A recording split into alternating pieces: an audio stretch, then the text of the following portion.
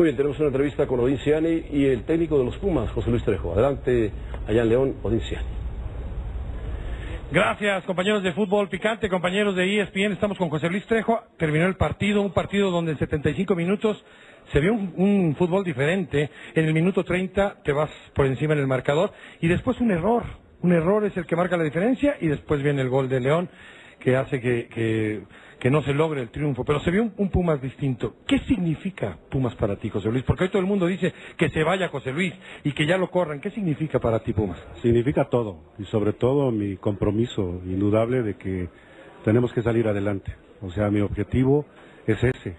Hoy no nos, no nos pudo dar la, la, un poquito de suerte también, pero finalmente creo y estoy clarísimo de que el equipo tiene, el equipo quiso, hoy no se nos dio, pero tiene que salir adelante. Y eso me da la tranquilidad y sobre todo la, el entusiasmo para no perderlo y saber que indudablemente quiero y lo quiero al equipo y quiero estar. Sabemos que siempre cortan por la parte más delgada, es injusto, pero a veces es necesario hacer cambios. En este momento seguramente la directiva estará reunida, hoy estuvo el ingeniero Borja y estarán reunidos para ver qué decisión tomar, pero la afición te está viendo. ¿Qué, podrías decirle toda la afición para que la decisión que tomen sea la más correcta? Que no me voy, yo no me voy porque yo indudablemente lo tengo, lo tengo como objetivo el salir adelante y yo estoy seguro de que así va a ser. El equipo está trabajando, el equipo está funcionando de alguna manera, no hemos tenido el, el granito ese de, de, de, a veces de suerte que necesitas, pero ahí estamos y no me voy a rajar de esta. Ahora, José Luis, tú tienes una historia ya en el fútbol y mucha gente de los medios te señala y dice es que no se va por el sueldo. ¿Esa es la razón por la que te quedas? No, no, no, aquí es de orgullo y a mí me da un orgullo tremendo y estoy muy, a, ¿cómo te diré? Estoy en deuda y esa deuda la tengo que saldar con la gente y con sobre todo con el equipo. Estoy completamente comprometido.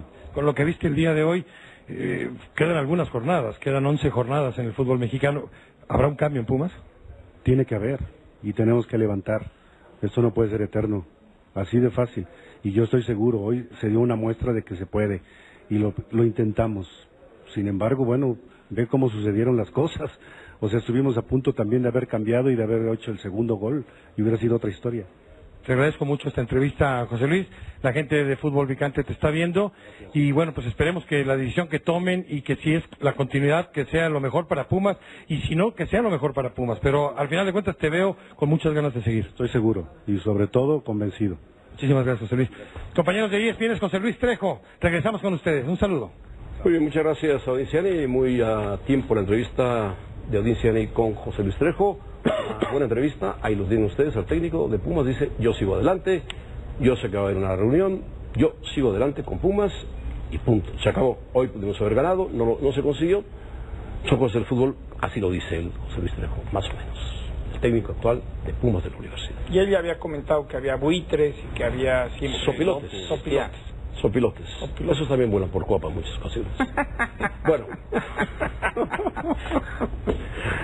Ah, Ricardo.